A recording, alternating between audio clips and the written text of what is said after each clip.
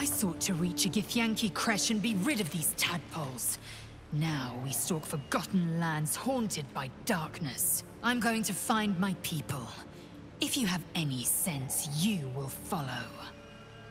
You consider your options, knowing that should Lae'zel depart alone for the creche, she could fall to the curse.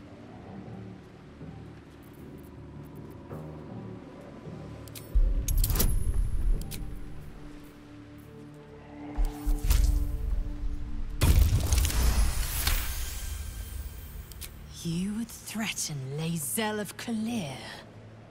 How unusual. How satisfying.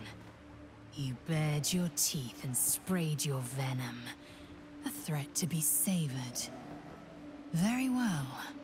Let's see what this moonrise illuminates.